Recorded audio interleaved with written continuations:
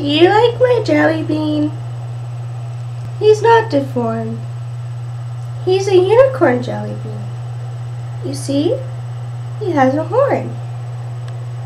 Unicorn jelly beans like to frolic all throughout the flowers. But we don't have flowers because I don't like flowers. So they can frolic through the almost eaten cupcakes. Ah! Well, now the unicorn's stuck in the cupcake. I should help him out, shouldn't I?